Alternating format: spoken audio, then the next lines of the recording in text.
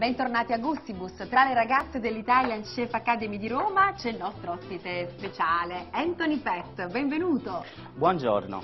Anthony, tu sei un conduttore televisivo, un regista, hai lavorato come inviato per diverse reti italiane, ma qui ricopri prima di tutto un ruolo fondamentale per quanto riguarda il Made in Italy. Ce lo racconti? Tre anni fa mi è arrivata la proposta di rappresentare l'Italia nel mondo con un progetto molto bello che riguardava circa 100 aziende che avevano ricevuto i fondi dell'Unione Europea per l'internazionalizzazione e quindi è nato questo lungo tour in tanti paesi del mondo che ho avuto modo di conoscere ma soprattutto capire che le nostre eccellenze sono tanto amate. Quindi Italia come da... vengono accolte le eccellenze italiane nel mondo? Vengono accolte molto bene, tra l'altro tutte queste aziende hanno iniziato nell'atto pratico a distribuire in tutte le catene alimentari e quindi Italia da gustare, Italia più bella. E in quale paese hai riscontrato maggiore entusiasmo? Beh, sicuramente il paese dove ho riscontrato maggiore entusiasmo è stato il Brasile, esattamente a San Paolo. Pensa, ti racconto un aneddoto. In ogni tappa io incontravo i consoli che- del Sì. posto. A San Paolo il console era sardo come me, quindi è nata una grande empatia. Abbiamo... Samba e felicità. Samba, felicità, tante cene, soprattutto rigorosamente con i prodotti del Made in Italy. Anthony, da questa puntata iniziamo una nuova collaborazione con te che ti vedrà in giro per l'Italia a raccontare, in realtà hai già iniziato, no? Sì.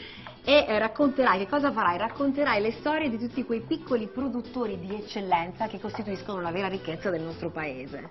Sì, io ho notato una grande cosa che poi lo vedremo nei vari servizi di questi piccoli produttori, queste piccole entità che hanno un connubio in comune fra loro, una grande storia da raccontare, una grande passione che verte in tutto quello che producono, quindi ci divertiremo, vedremo questi servizi con delle bellissime storie che... Hai riscontrato qualche connotato in comune tra loro? Sì, sì, sì, il grande sacrificio sicuramente è il connotato in comune, ma soprattutto la grande dedizione nel curare nel minimo dettaglio tutta la preparazione fino ad arrivare al prodotto finito che poi tutti quanti noi italiani mangiamo.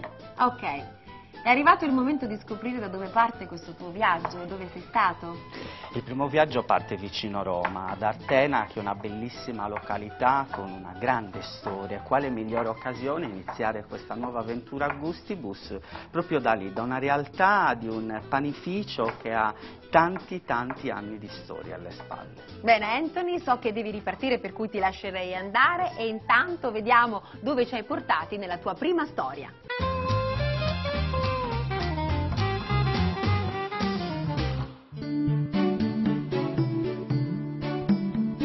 Artena, una graziosa cittadina in provincia di Roma, arroccata su un costone calcareo nell'estremità meridionale dei Castelli. Mi trovo qui per raccontarvi una storia di eccellenza italiana, quella di un ragazzo che a 15 anni, durante le vacanze estive, inizia a lavorare nel forno degli zii, per diventare quello che è oggi, Ivan, il re del pane. Eccoci. Ivan! Ciao. Anthony, come stai? Bene?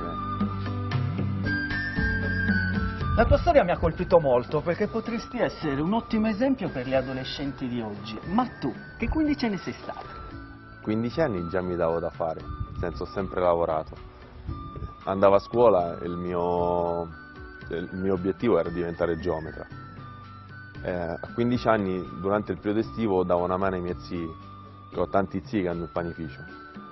Solo nel 99 incomincio a vendere il pane, negozio per negozio, e nel 2002 apro il primo panificio all'Ariano.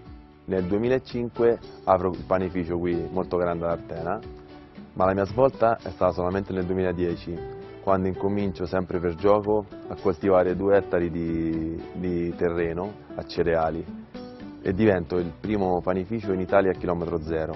Comunque, se mi segui ti faccio vedere. Eccoci finalmente nel tuo regno. Ivan, che cosa succede? Praticamente qui la mattina svolgiamo eh, il lavoro della biscotteria secca, successivamente c'è la lavorazione della pasta, come ultima eh, lavorazione facciamo la lavorazione del pane. Ecco, parliamo della pasta. Che tipo di pasta producete voi? Le ultime due mie novità sono le fetturtiche che le fettubirre. La fetturtica è una fettuccina sempre con farina poco raffinata, ma con ortica selvatica. E invece la fettubirra è una fettuccina a doppio malto, senza uovo, con farina sempre poco raffinata. E invece la cosa succede? Vieni che ti faccio vedere. In questa seconda stanza facciamo lievitare il pane.